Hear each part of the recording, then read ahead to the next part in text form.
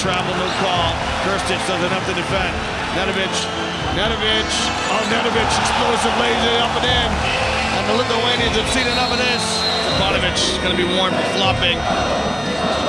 Serbia just spreading out the Bosnians, and Bogdanovic pumps his fist. It's a three. Ilievski stops and pops. No good. Bjelica with the rebound. Oh, Bjelica wraps it around his back. Flush play of the game. Uh, Serbian basketball always was su- successful. We had many successful generations, and it's for sure an obligation for, for us, for the younger guys, to to represent Serbia in a, in a proper way, and to to make good, good results. We feel we feel a little bit pressure, but positive pressure.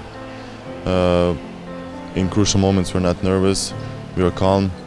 Uh, it's a little bit surprising because our our average age is 24, but we, we are not afraid of anybody.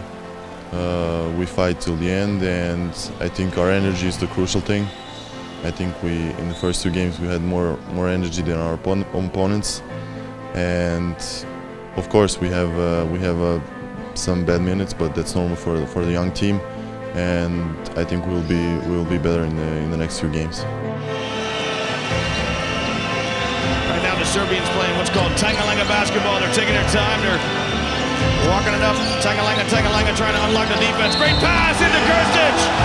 What a pass by Nedovic into Krstic, who lays it up and in. And these are the two players who've been the most influential for Serbia.